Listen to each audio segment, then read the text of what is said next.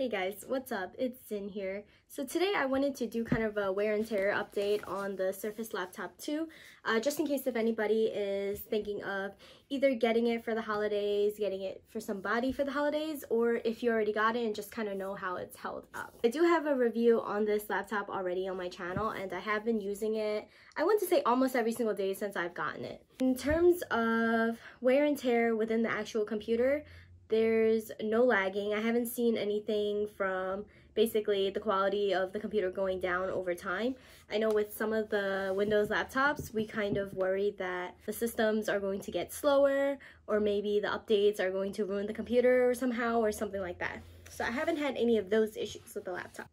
I stand by what I said in the previous video, which is that it's basically a fingerprint magnet. So there's a lot of fingerprints that you can see on this laptop as soon as you pick it up, touch it, and that's just inevitable because of the matte finish with this laptop.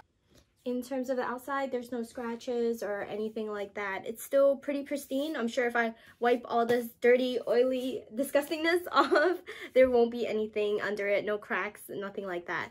The laptop itself um, is still really pretty. I barely use the touchscreen. That's just a preference of mine personally. A lot of people worry about this Alcantara lining and I can kind of see why. I'm going to show some kind of close-up so that you guys can see what I'm talking about. On one side, there doesn't seem to be any issues, but I realized on this other side, there's kind of developed like this spongy material where you can kind of see the holes in the Alcantara lining. As far as the dirtiness factor goes, this thing has or does get um, a little bit of lint every once in a while, which is fine. That's to be expected. I mean, it's a little hard to clean, but I feel like that's also pretty typical with keyboards in general. As for the keys, they're still pretty easy to type on. None of the keys are falling out. Um, the trackpad still works magnificently. I haven't had any issues with that at all. I would say the edges of the laptop here where the Alcantara meets the metal, it's a little rough.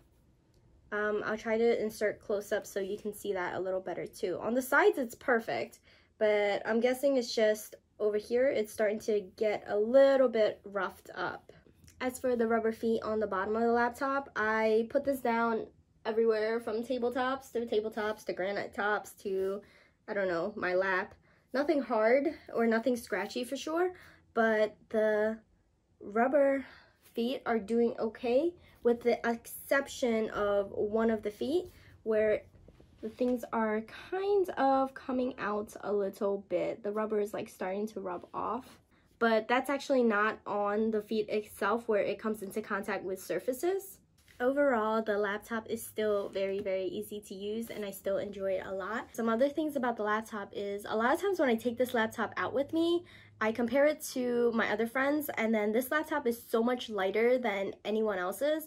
Um, I don't hang out with a lot of people that have MacBooks, but in terms of other Windows laptops, this is definitely one of the lightest and sleekest laptops out there.